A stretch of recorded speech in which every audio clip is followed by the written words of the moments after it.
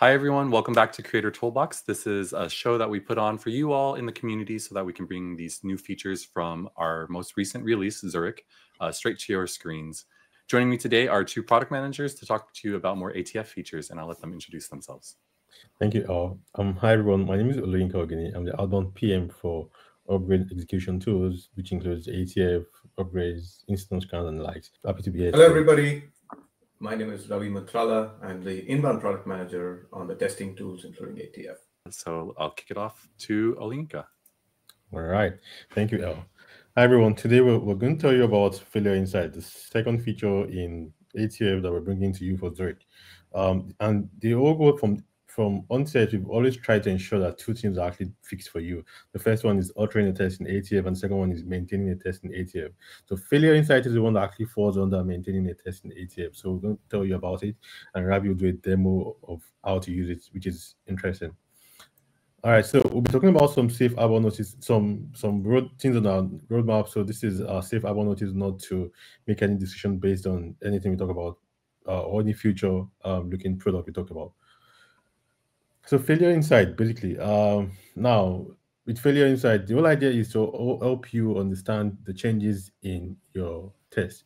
Now, there are times when you run the test and initially the, test is the test is successful, and upon some changes in the metadata or some changes from your team members, you realize that running the test again um, uh, resulted to a, a, failed test.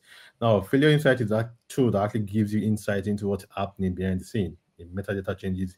It helps you show side by side file comparison, and it helps you also once you've been able to see what the changes are, you can then assign the fixing or the resolution to a team member. Um, we'll be sharing um, results link also, but you can find more information about failure insight for ATF on our doc page. I'll be passing it over to Ravi to do a demo of this wonderful feature. Thank you, Yinka. All right, let's jump into the uh, how we use this particular product. So I am going to uh, use a couple of tests that I have written uh, that, that already exist, and I'll explain to you, you know, what's going on and what the issue was and how this particular tool would work in this particular case, right? So this particular test is a simple basic UI test. Um, I I changed this uh, test slightly but I'll, let me walk you through that.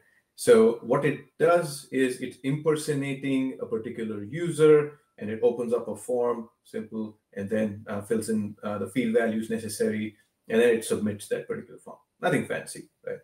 The thing I changed here, and this is why this test will fail, is the impersonate user it used to be the ATF user, okay?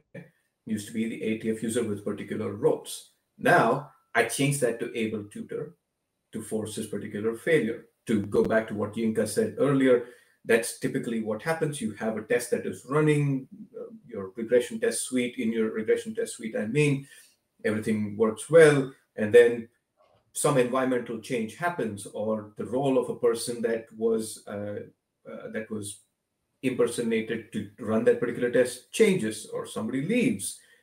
Things like that happen in real world, right? And then the test fails. Now the developer is trying to figure out why this test failed, or the QE uh, team member is trying to figure out, and that's a, a, a, big thing. What we are trying to do is to simplify that a whole lot.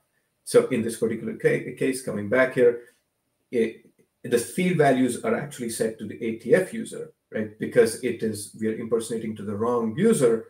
They don't have access to that particular form, and that is why this test is going to fail. So let me uh, let me let me run this test. I've run this test in the past already, as you can see, but I'm going to run this test real quick just to show you.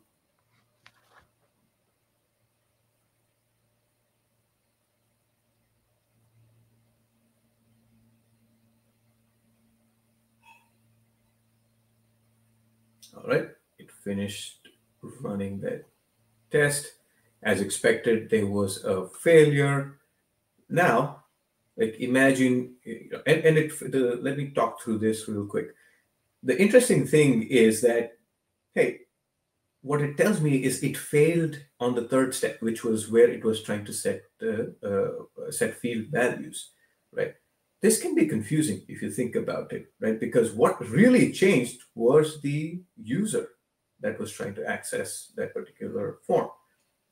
Now, here's where the magic comes in. This link that you see here, find changes since the last successful run. Uh, this is essentially initiating the, uh, the insights tool that we created for you. What it does is instead of you going down that wild goose chase of, okay, why did the third step fail? It actually tells you what exactly changed, right? In this case, it's the impersonation that changed. And better yet, if I right click on it and I hit compare,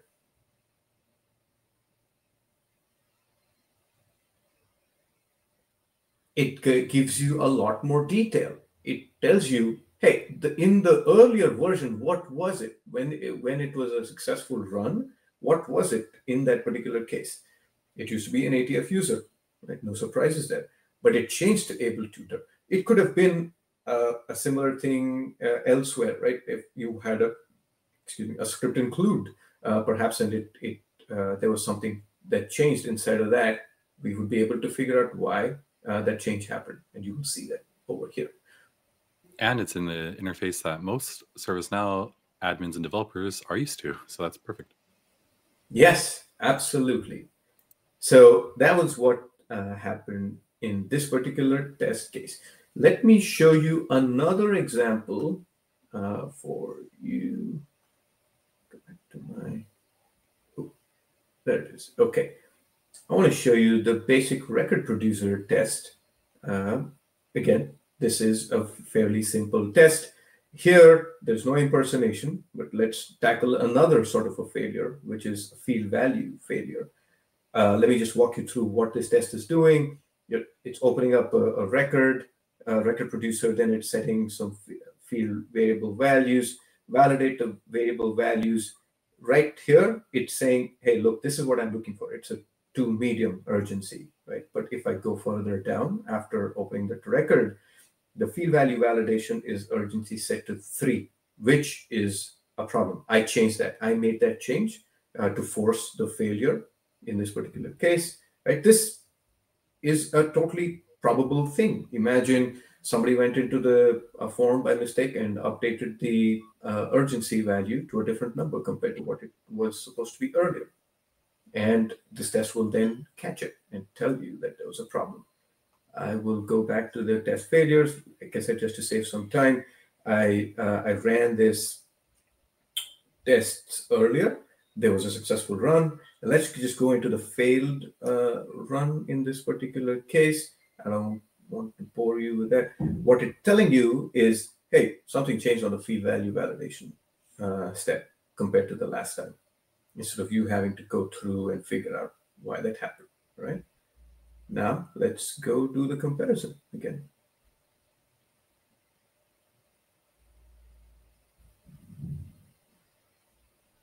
See, it tells you specifically what the change was. It used to be a two medium, and now it's a three low. Now, as a developer or a QE, I can simply go back to my test and make that change real quick or go back to the form. And if this is the right thing to do, then make the update to the actual form that, and then make the update to the test as well, of course. Right? But otherwise, you would have spent the time trying to figure this out on your own. Yeah, Ravi, can we talk about what happens when you have a, a bunch of this and you want to assign to someone to resolve? Yeah, I'm I'm getting there. Thank you. That was the next step. I have one other thing I wanted to show you. Well, you know, let's just do this first. So, as a say, let's say you are an admin and you noticed a bunch of these test failures uh, happen. Now you are wanting to uh, get somebody on the dev team or somebody on the QE team to take a look at this because you may not fully understand. Okay, this change, but I don't know. I'm not going to go make this change. How would you handle something like that? So it's as you can see, there is a create task button that we've introduced over here. All you got to do then is uh, from a, for a scenario of uh, as an admin, you are trying to assign this particular issue to somebody to go take a look at, fix the test, fix the code, whatever that is. All you got to do is uh, you click the issue that the application filed that you want to assign to somebody. You create a task, and by default, we will create a incident task uh, that gets assigned, or rather, you'll have to fill out. Okay, so let's say I am Abel Tuter, and I'm making this particular setup, and I want to assign it to Christen Mitchell, who is my dev. And the nice part is we pre-populate it with, hey, look, this is the instance that this problem happened on, right? And a bunch of good information in terms of the field value validation is lost. So you can simply go back and take a look at that. And when I submit that, that gets that that um, incident gets created for you in your dev instance at that point in time. Pretty cool. And Ravi, you said by default, when you say create a task, it creates an incident. But uh, for those that might have CSM or a different table that they want to put that on, is that uh, something they can yeah. do? Yes, that was, I was going to show that next. Let me take you where that configuration exists. So ATF, and I go into the administration uh, properties. And this is where that setup is. So you could have changed that from incident to problem. You know that we changed that, let's go back to the tests here. Let's go back here. And then if I create a task, it creates a problem task for you instead.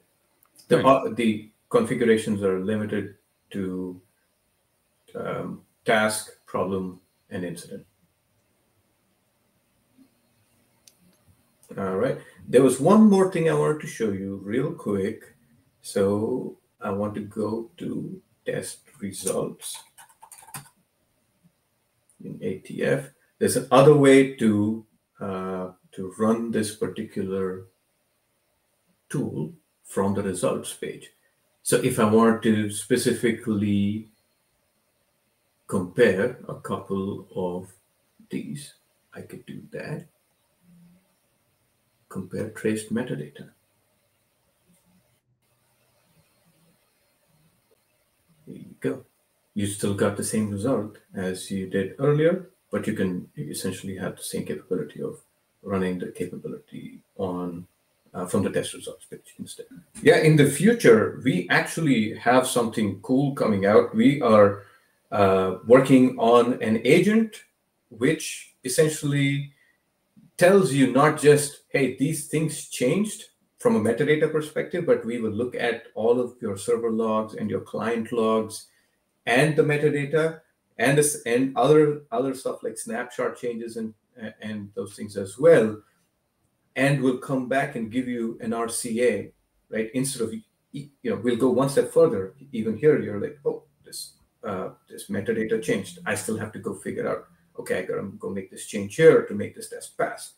Right? But with the agent that is uh, upcoming in the in the near future, we will give you a specific RCA saying this is why the test failed, and we'll give you a list of steps that you simply will have to go follow to make the changes on your test or uh, on the code itself to get the test to a passing state. Much more advanced compared to just telling you, hey, here's the metadata that changed. All right. Well, that is the this episode of ATF with failure insights for the Zurich release. Check out our channel for other Creator Toolbox episodes as they come out. It's this was a, a very busy month for approaching November because we're getting closer to a store release. So you'll be seeing more episodes come out soon. All right. Thank you to both of you for joining me for both of these episodes of ATF. If you haven't seen the other episode, go check that out on our channel too. Thanks, everyone. Thank you.